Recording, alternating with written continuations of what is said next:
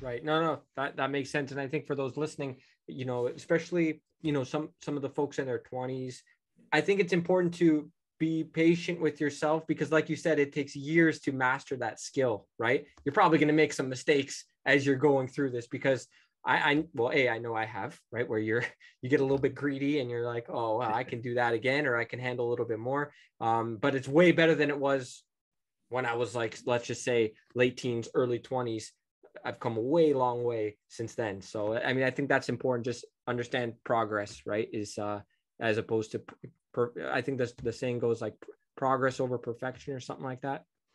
So yeah, that or the one I always liked was people would say practice makes perfect, but I think it was Lombardi said perfect practice makes perfect. You know, and it's and you're never going to be yes. perfect. But I think I think the best.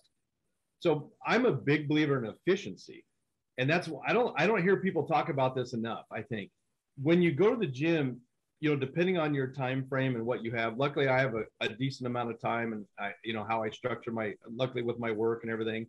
Um, just depending on, like I said, when now we're getting into baseball season, I'll I have to be a little more structured um, because tournaments and we'll be traveling and all that.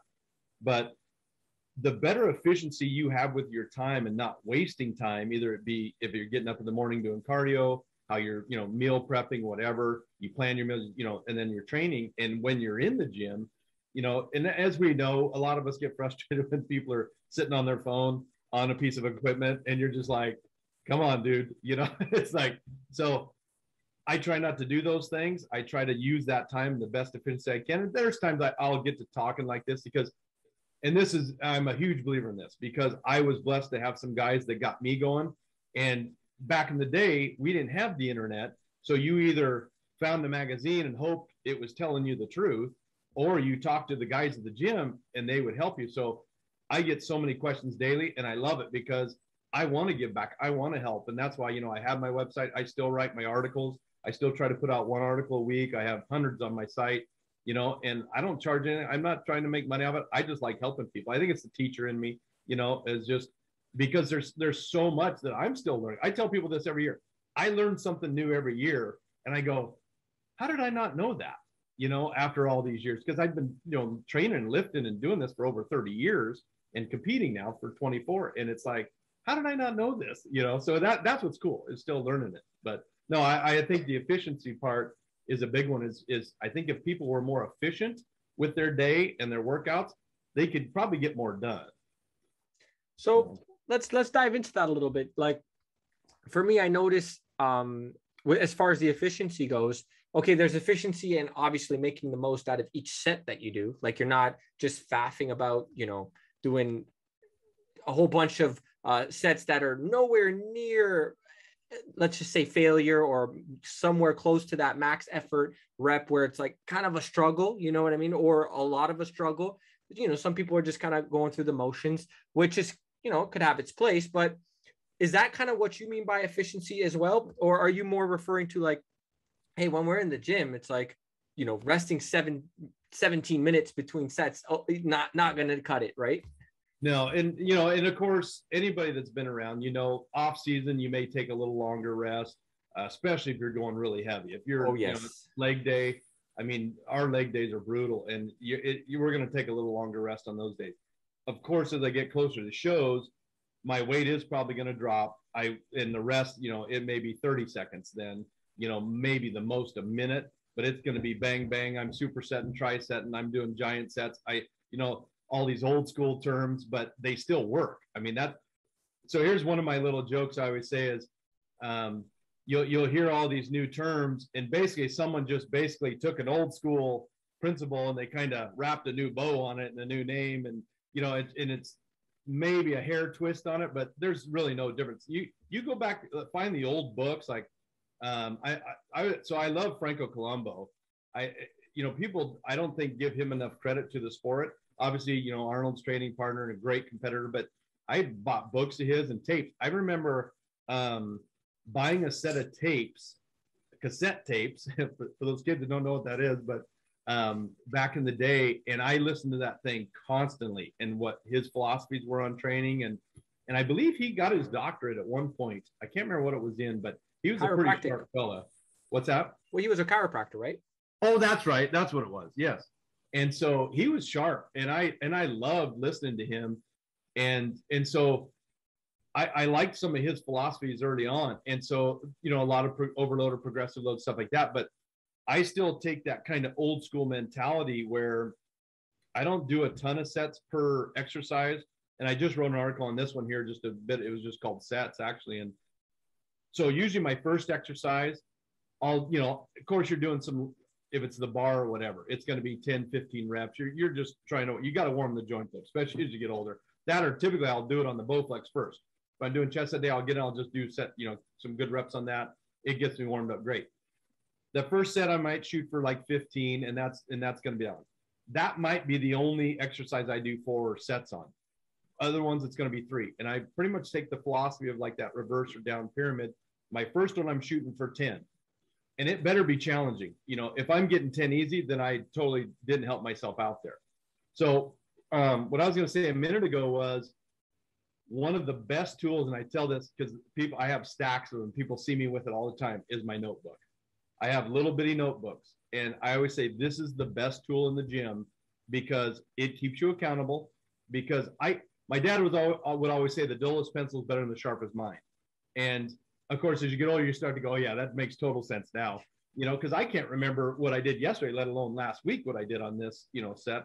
So when you flip the page, you go, okay, that's what I did last week. So my goal, and this kind of comes from some of Franco's, was I try to shoot for maybe one more rep or five more pounds that next week. And I just am always trying to progress. Now we know you're going to hit plateaus and hit limits. And that goes back to kind of what we were talking about earlier. That's when you maybe need to change it up, shock the muscle, do different things, or just change the lifts and, you know, so on and so forth. But um, so pretty much I do that 10, then I do the seven, and then my third set I'm shooting for five. Um, and it's of course adding weight and, and just getting it and then, you know, moving on to the next.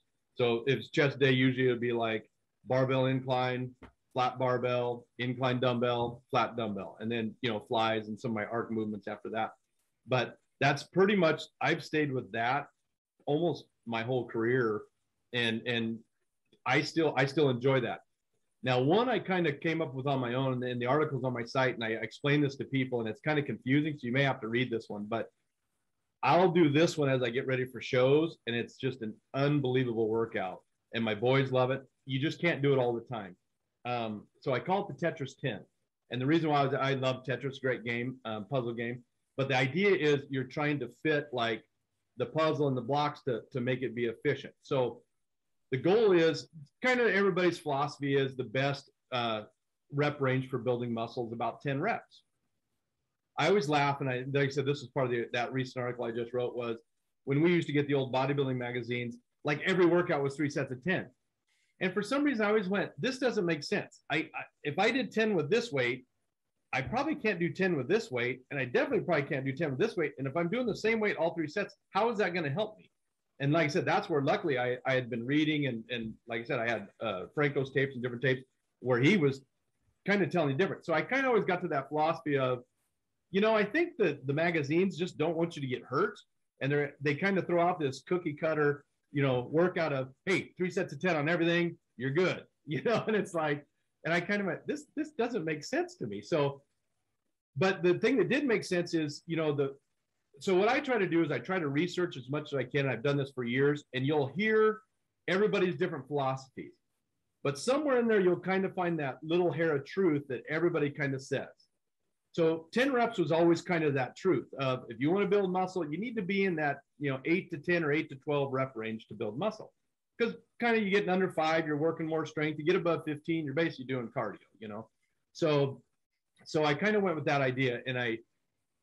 So my my philosophy is on the Tetris 10 is every set, and I'm doing three sets. I'm going to get to 10. Now, how I decided to do that was if I didn't have a training partner, you know, a spotter, which, and, and I think I did see that one with uh, Philip. You were talking with Philip about a training partner is huge. I mean, having a training partner, I, I always joke. I think it's always been harder to find a training partner than a wife, you know, because you have to find someone that has similar goals, the same schedule, which is almost impossible, you know, and the same motive, you know, to, to drive yourself. So for years, guys, oh yeah, I want to work out with you. I'm like, Are you sure? you know, I don't know if you're going to be able to handle this. And sure enough, they'd last about a week and I'd never see him again.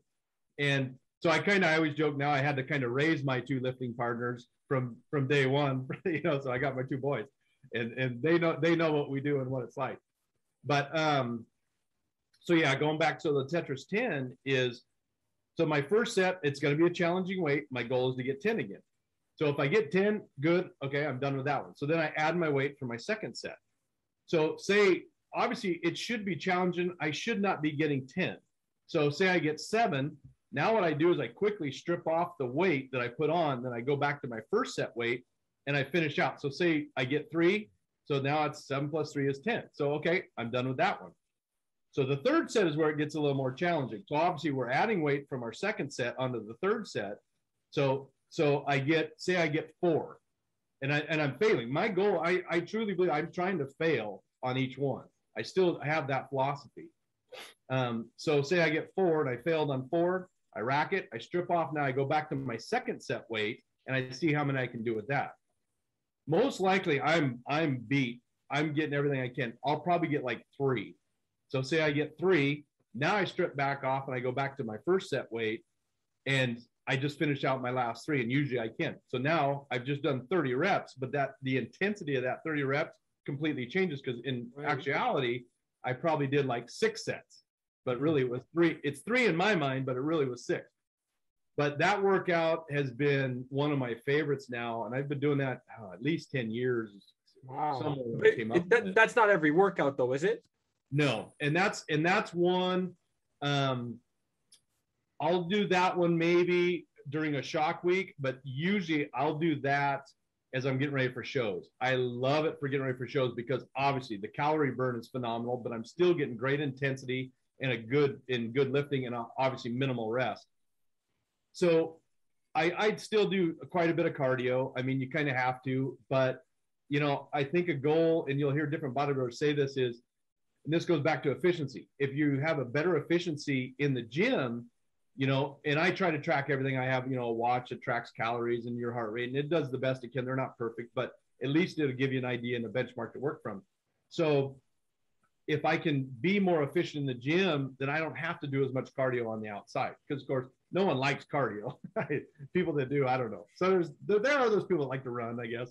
But yeah, I mean, the, especially like morning cardio, the, that's the brutal one. But if I can be better in the gym, that I don't have to kill myself on the outside, then you know that's always a good thing. So so that was one reason I kind of came up with it, and and I love it. And I'll and I I mean I do that with super setting. I'll do that with giant sets, and it's just it's brutal. But I like to start that one usually about a month out. I tried it one year. Um, I, I'm really going to go for it this year because I like I said when I start getting ready for the big show, I get so determined and focused I said, you know what? I'm going to try this eight weeks out. And, and so keep in mind, I'm still adding weight every week. So say I was doing bench press that week and I, my first set was two plates and I did 10, then my next set was two plates and say a 10 or 15 on the edges, you know, and then the last set was two plates and 25s or say three plates. I would still be adding five pounds every week from that first week. So I'm tracking mm-hmm. this for that many weeks. So by the time you're hitting your third and fourth weeks, it's it's brutal and it's long. I mean, these were two, two and a half hour workouts.